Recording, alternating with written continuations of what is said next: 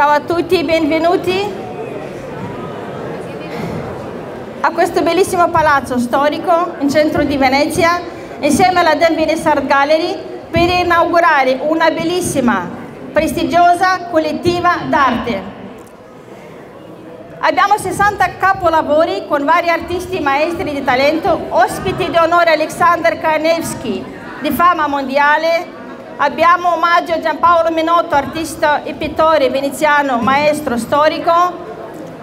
Omaggiamo oggi Remigio Butera e accanto a me, come state vedendo ora, sono dei talenti, dei maestri che hanno dedicato all'arte una vita intera. Abbiamo anche artisti emergenti di vari stili, Insieme tutta questa mostra porta una parte dell'anima di ciascuno di loro. Un, ciascuna opera porta in sé sentimenti, emozioni vari e questa che privilegia oggi, che oggi sono qui artisti in mostra su cui si può investire, da cui si possono prendere varie emozioni vive e sono veramente tutti da scoprire attraverso i loro capolavori. So, siamo orgogliosi di presentare questa mostra perché l'opera di ciascuno di loro porta la, quella virtù, quel valore artistico che si può promuovere l'arte qui da Venezia a livello veneziano ma anche a portare al, men, al mondo per l'internazionale. Da qui si parte una mostra collettiva che è soltanto un punto di partenza per l'estero. Passo parola ai critici, al comitato scientifico tecnico della Denver Star Gallery e ringrazio tutti i presenti e ringrazio per il contributo creativo artistico tutti i partecipanti e un merito dovuto soltanto al loro talento, a cui facciamo un meritevole applauso.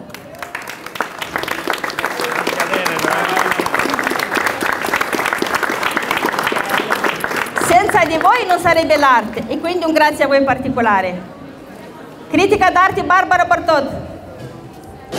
Grazie mille e benvenuti. Le opere d'arte racchiudono emozioni, idee, visioni e sogni. Ecco perché questa collettiva è stata intitolata Il sogno dell'arte continua. Di Van Gogh la famosissima, popolarissima frase Io dipingo i miei sogni. E come non sentirci immersi in una dimensione onirica visitando questa collettiva e in un contesto così meraviglioso come la Scuola Grande di San Teodoro, nei sogni tutto è possibile, non ci sono limiti. Ecco perché questa, questo evento, a questo evento non è stato legato alcun tema e gli artisti erano liberi appunto di esprimersi come meglio credevano, senza, senza catene, senza vincoli.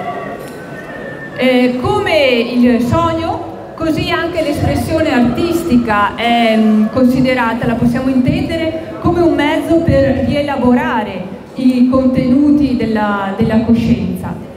Eh, per produrre che cosa? Per, per, produrre delle raffigurazioni ricche di simboli e di riferimenti al proprio vissuto, alle proprie esperienze personali. Che allora qui troverete tra i vari soggetti chi ha voluto eh, raffigurare eh, e dipingere la propria piccola figlia, chi uno scorcio caratteristico di un rione eh, popolare, chi invece ha voluto fissare sulla carta i colori indimenticabili di un suo viaggio alle Maldive o ancora un, um, esprimere la propria passione per la vela. Ancora eh, faccio appunto alcuni esempi, ma ne troverete tantissimi di soggetti con tecniche e materiali differenti, eh, chi ha voluto eh, esprimere e ricordare un amore che ha, che, che ha segnato l'artista.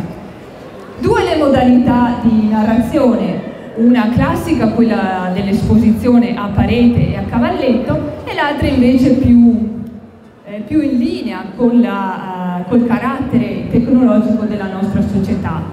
La DEM Venice Art Gallery è da un po' che eh, punta su questa, su questa, formula, quindi sul binomio arte visiva e arte eh, proposta in video esposizione perché eh, ci dicono che questa sarà, è la formula che avrà eh, il destino diciamo, di, di, crescere sempre più nei prossimi, nei prossimi anni.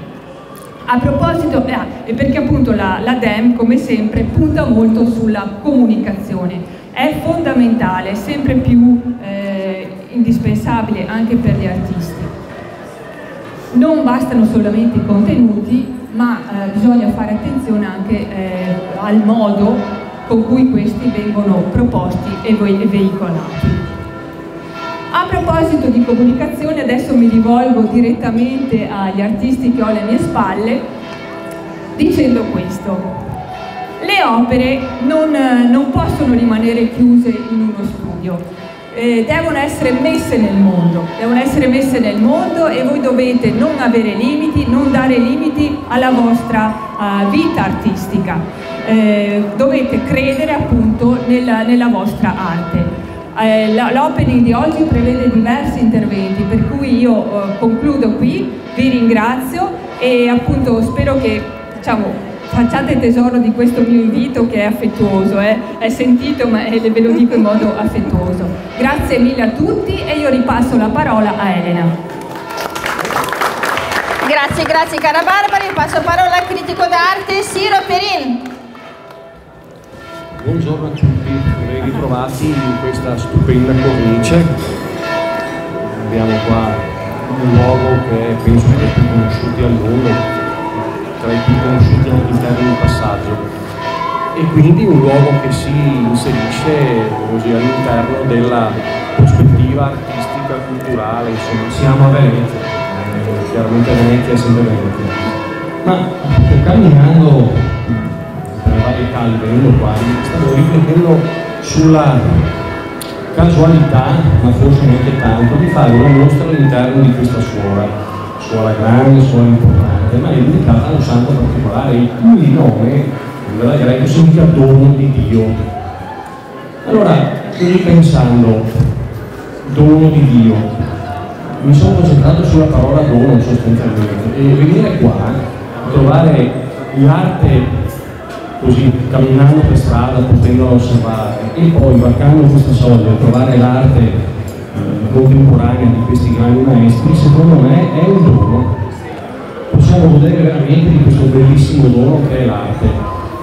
Un dono che ci permette di evadere dalla frenesia, dato diciamo così suolo di Venezia anche che insomma è calcata da molti piedi, evadere dalla frenesia non solo, ma anche evadere dalla così cultura della vita quotidiana. Quindi se veniamo qua e camminando per Venezia guardiamo verso l'alto e capiamo qualche bella cosa, cosa in senso appunto sostantivo indefinito, poi qui entriamo e questa bella cosa diventa bellissima cosa. Io credo che questo sia uno dei sensi che guidano questa nostra. Regalare belle cose e noi in questo periodo ne abbiamo bisogno perché basta attendere accendere la televisione, guardare il telegiornale, sembra una cosa buttata là, sembra piccolo, non è assolutamente. Avere la possibilità di poter godere del bello con la P maiuscola non è una cosa scontata e sicuramente fa bene al cuore e quindi godetevi questo. Grazie. grazie, grazie, grazie. Grazie gentilissimo Siro, passiamo parola alla critica d'arte Giorgia Polastri. Due, due parole solamente perché l'ora diventa tarda.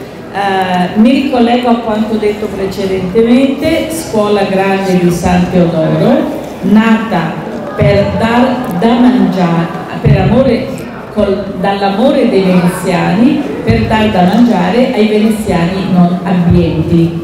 Uh, quindi chi non aveva possibilità qui sapeva che trovava qualcosa.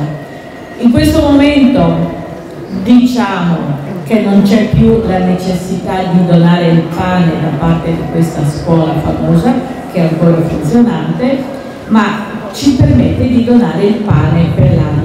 Quindi l'arte, la bellezza, la gioia e la Dan Venice Art Gallery oggi eh, assieme alla scuola grande di San Teodoro apre le porte alla bellezza da donarla solamente, non solamente agli artisti che fra di loro si guardano, ma anche a tutta la città, la città di Venezia, ai suoi turisti e a tutto il esatto. mondo. Grazie, grazie, grazie.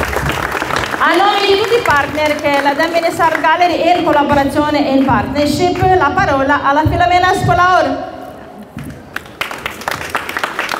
Allora io porto un caloroso benvenuto a tutti i presenti e soprattutto a tutti i nuovi artisti che hanno deciso di proseguire il sogno iniziato a Charmin Santa Fosca ancora a metà maggio. Porto un caloroso benvenuto da parte di AVA, l'Associazione Veneziana Albergatori, il Consolato dell'Uruguay, i beni culturali e appunto Charmin Santa Fosca, che grazie all'AVA ha permesso appunto di iniziare eh, la mostra Dreaming of Venice, Sognando Che è Venezia, che qui che è ancora in corso fino al 26 novembre che vi invitiamo a visitare ehm, eh, fino al 7 eh, di novembre. Per cui auguro a tutti una buona visione e a tutti gli artisti presenti buona creatività. Grazie, grazie, grazie Filomena. E torniamo all'essenza delle cose. Quanto di bello è sentire una musica classica che si sta adesso sentendo, lo sentite tutti, vero? Sentirsi proprio in un ambiente così elegante e nobile di una musica che ci avvolge e ci fa sognare. Quanto di bello è arricchirsi di un'opera guardando, ammirando e prendendo, prendendo il colpo di quelle emozioni che riesce a trasmettere. Ci auguriamo oggi che questa mostra bellissima, con tantissimi capolavori unici, ognuno bello per sé, di arricchirsi e andiamo a scoprirlo insieme questa bellezza, questo racconto creativo, artistico attraverso le tele, attraverso le loro opere. Sarei veramente felice se sarete sempre benvenuti con noi a seguirci sempre con la Del Veneziar Gallery, voi è stata la gallerista e art manager Elena Petra Sduliba. Io sono felice di avervi con noi. Andiamo a scoprire insieme questa bella mostra e farsi delle foto, e farsi interviste, fotografare con gli artisti e con i maestri d'arte che promuovono la cultura italiana al mondo. Viva l'arte! Grazie!